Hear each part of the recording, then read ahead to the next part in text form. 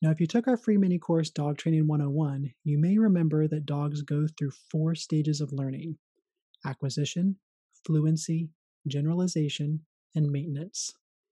In the acquisition stage, we use our capturing, targeting, luring, and shaping skills to help a dog acquire a behavior. In the fluency stage, we create learning environments where dogs can practice these behaviors in rapid succession to make them automatic.